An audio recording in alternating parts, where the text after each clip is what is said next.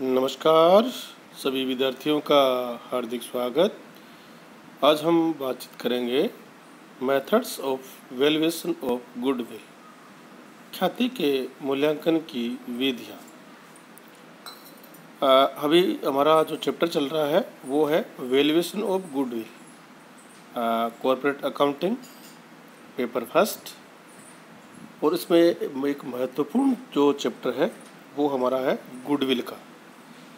और गुडविल से संबंधित आपको जो चैप्टर है, वो बहुत महत्वपूर्ण होने के कारण आपके लिए इसका अध्ययन करना ज़रूरी है। एग्ज़ाम के दृष्टिकोण से बात करें और जब आप जॉब मार्केट में जाएँगे, तब भी आपको जो गुडविल का जो चैप्टर है, उसका जानकारी होनी चाहिए। और इसी को ध्यान में रखते हुए, बच्चों की जो मांग है, उसको ध्यान में रखते हुए आज हम बातचीत करेंगे मेथड्स की। गुडविल है, ख्याति है, उसके मूल्यांकन की मेथड्स कौन कौन से हैं, इसके बारे में। तो ज़्यादा समय आपका नहीं लेंगे और शुरू करते हैं आज का हमारा topic, methods of valuation of goodwill. मैं डॉक्टर महेंद्र खारडिया आपसे बातचीत कर रहा हूँ, assistant professor in A B S T देखिए, कोई भी ख्याति के लिए भुगतान इसलिए करता है क्योंकि वह भविष्य में सामान्य लाभों से अधिक लाभ कमाना चाहता है।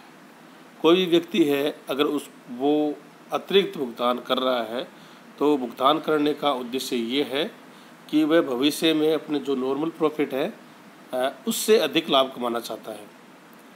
और सामान्य रूप से ख्याति की जो मूल्यांकन की जो विधियाँ हैं, वो मुख्य रूप से तीन प्रकार की मेथड है, उनका यूज़ किया जाता है।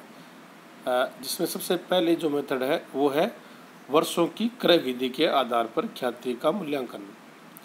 परचेज ईयर्स परचेज मेथड ये विधि इस मान्यता पर आधारित है कि क्रेता भविष्य में जो लाभ कमाएगा, उनके कुछ वर्षों के क्रय के आधार पर ख्याति का मूल्य विक्रेता को दे देगा। यानी इस विधि में क्रेता जो क्रय करता है, वो भविष्य में लाभ कमाएगा और उनके कुछ वर्षों का, जैसे पाँच वर्ष का या तीन वर्ष का जो क्रय है, क्रय के आधार पर हम ख्याति का मूल्य विक्रेता को दे देते हैं। इस विधि द्वारा ख्याति का मूल्यांकन करने हेतु सर्वप्रथम ये निर्धारित करना होता है कि औसत लाभ को आधार माना जाए या अधिलाभ को, जो ख्याति का मूल्यांकन जब इस मेथड्स में करेंगे तो सबसे पहला जो हमारे सवाल आएगा दिमाग में कि हमें औसत लाभ लेना है या अधिलाभ लेना है? एवरेज प्रॉफिट लेना है या सुपर प्रॉफिट लेना है? ये निर्णय करना होता है कि कितने वर्षों के वर्षों का क्रय ख्याति का मूल्य समझा जाए। ये निदान करने के बाद आपने निम्न प्रकार से निम्न दो प्रकार के लाभों से ख्याति की गणना आपको करनी होती है। देखिए, नंबर वन है वास्तविक औसत लाभ की क्रय विधि। ख्याति का मूल्य। वास्तविक औसत लाभ या भविष्य में कायम रहने योग्य लाभ इंटू वर्षों की क्रय संख्या, तीन या पाँच। आप वास्तविक औसत लाभ है, उसका कैलकुलेशन आपको करना होगा, जिसे भविष्य में कायम रहने योग्य लाभ भी कहते हैं। एक्चुअल एवरेज प्रॉफिट या फ्यूचर मेंटेनेबल प्रॉफिट को मल्टीप्लाई करेंगे number of year of purchase जो तीन या पाँच तक हो सकते हैं। आदि लाभों की क्रय विधि। सुपर प्रॉफिट के आधार पर अगर हम खेती का मूल्यांकन करेंगे तो उसका हमारा फॉर्मूला होगा वैल्यू ऑफ़ गुडविल बराबर super profit of business into number of purchase of year वो भी तीन से पाँच वर्ष हो सकता है। जैसे आ, सवाल में आपको दिया गया हो उसी के अनुरूप आपको ये काम करना है। इसके बाद बात करते हैं सेकेंड मेथड जो है उसको कैपिटलाइजेशन मेथड बोलते हैं पूंजीकरण विधि। ये विधि इस मान्यता पर आधारित है कि अधि लाभों का सामान्य परताय से पूंजीकरण करके ख्याति का मूल्य ज्ञात किया जा सकता है। लाभ के पूंजीकरण से ये आशा है कि लाभ की राशि एक निश्चित ब्याज की दर से अर्जित करने हेतु व्यवसाय में कितनी पूंजी की आवश्यकता है। लाभ के पूंजीकरण से हम ये आशा करते हैं कि लाभ की राशि एक निश्चित ब्याज की दर से अर्जित करने हेतु व्यवसाय में कितनी पूंजी की आवश्यकता है, ये डिसाइड होता है। ख्याति के मूल्यांकन के लिए इस विधि को अपनाने पर वास्तविक औसत लाभ व अधिलाभ में से किसी को भी आधार बनाया जा सकता है। दोनों लाभों में से ख्याति के मूल्यांकन की राशि समान आती है। किस विधि की इस विधि में भी दो मेथड है। अधिलाभ के आधार पर अगर हम यू, वैल्यू कर, वैल्यूएशन ऑफ़ गुडविल कर रहे हैं तो वैल्यू ऑफ़ गुडविल बराबर सुपर प्रॉफिट को डिवाइड कर देंगे। नॉर्मल रेट ऑफ़ रिटर्न और इनटू कर देंगे हंड्रेड यह हमारा हो गया सुपर प्रॉफिट के आधार पर. और अब हम बात करेंगे वास्तविक औसत लाभ के आधार पर अगर सुपर प्रॉफिट कैलकुलेशन करना है कैपिटलाइज मेथड से गुडविल को तो हमारा फॉर्मूला क्या होगा?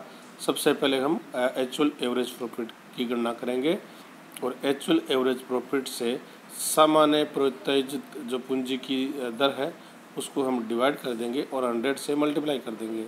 जैसे नॉर्मल कैपिटल एम्प्लॉयड बराबर actual average profit into hundred divide normal rate of return तो ये नॉर्मल कैपिटल एम्प्लॉयड आपका आ जाएगा। इसके बाद में बात करते हैं वास्तविक वर्ती विधि। एमनिटी एमनिटी मेथड्स यानी कोई भी क्रेता ख्याति का मूल्य अधि लाभ कमाने की प्रत्याशा में देना चाहता है। क्रेता को ख्याति का मूल्य तो व्यवसाय क्रय करते समय ही चुकाना होगा। अधिलाभों की राशि भविष्य में व्यवसाय से वसूल कर लेता है।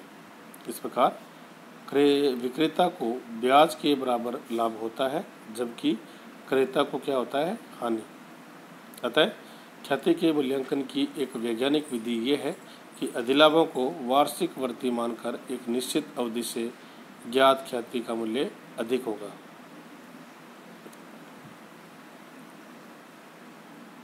अतः ख्याति के मूल्यांकन की एक वैज्ञानिक विधि ये है कि अधिलाभ को वार्षिक वृत्ति मानकर एक निश्चित अवधि के लिए प्रचलित ब्याज दर या सामान्य प्रत्यय दर पर उसका वर्तमान मूल्य ज्ञात कर लिया जाए।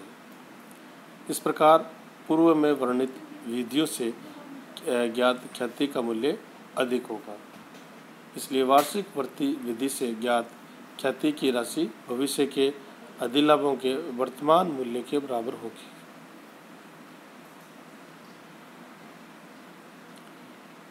जिससे क्रेता को ब्याज की आय नहीं होगी तथा विक्रेता को भी फ़ायदा नहीं होगा, ये विधि ख्याति के मूल्यांकन की सर्वाधिक उपयुक्त विधि है। वर्तमान मूल्य ज्ञात करने के लिए प्रचलित ब्याज की दर से अधि लाभों का बट्टाकरण करते हैं। उदाहरण के द्वारा हम समझने का प्रयास करें तो हमारे पास अभी जैसे सौ रुपये है तथा ब्याज की दर दस रुपये वार्षिक है इस प्रकार एक वर्ष बाद हमें कितना मिल जाएगा? एक सौ दस प्राप्त करेंगे। और अब बात करते हैं एक सौ इक्कीस, यानी एक वर्ष के बाद एक सौ दस के वर्तमान में सौ के बराबर होंगे। और दो वर्ष बाद में एक सौ इक्कीस, सौ के बराबर होंगे। वार्षिक वृत्ति तालिका से इस प्रकार की गणना की जा सकती है। यदि एक निश्चित आय प्रति वर्ष एन वर्षों तक प्राप्त होती है तो उसको संचयी वर्तमान मूल्य निम्न सूत्र की सहायता से आप इसको कैलकुलेट कर सकते हैं। बहुत ही सिंपल आपका फॉर्मूला होगा। Present value of one rupees annually for n years बराबर वन माइनस एन को डिवाइड करेंगे। वन प्लस आर की घात आर डिवाइड आर ये आपका फार्मूला होगा और इससे हम प्रजेंट वैल्यू निकाल लेंगे और प्रजेंट वैल्यू को सुपर प्रॉफिट से मल्टीप्लाई कर देंगे। तो आपका जो प्रॉफिट है, वो कैलकुलेट हो जाएगा। तो इस प्रकार से जो हमारी मेथड्स हैं, वो तीन प्रकार की मेथड्स हम सामान्य रूप से यूज़ करते हैं वैल्यूएशन ऑफ़ गुडविल और ये बहुत ही महत्वपूर्ण विधियाँ हैं, जिनको आपको ध्यान में रखना है। इससे संबंधित क्वेश्चन आपके एग्ज़ाम में ज़रूर आते हैं। और इसमें दो दो बातें हैं। एक तो actual average profit future maintainable profit की गणना करना होना, करना होती है। और इसके बाद भी आपको सुपर प्रॉफिट की गणना करनी होती है। तो इसमें तीन स्टेप आपके लगेंगे। एक्चुअल एवरेज प्रॉफिट या फ्यूचर मेंटेनेबल प्रॉफिट और उसमें नॉर्मल जो प्रॉफिट है उसकी गणना करनी है। और दोनों में जो डिफरेंस आएगा, उसको बोलते हैं सुपर प्रॉफिट और सुपर प्रॉफिट की गणना भी आपको करनी आनी चाहिए। तो इन सब बातों को हम अपने नेक्स्ट जो पार्ट है, उसमें जारी रखेंगे। तो सभी विद्यार्थियों का बहुत बहुत धन्यवाद कि आपने पूरा ध्यान से सुना, उसको समझा। आप सभी का धन्यवाद और आप, आपको सुरक्षित रखिए, घर पर रहिए, सेफ़ रहिए और अच्छे से पढ़ाई करें ताकि आपका रिज़ल्ट बहुत बेहतर रहे। धन्यवाद। Thank you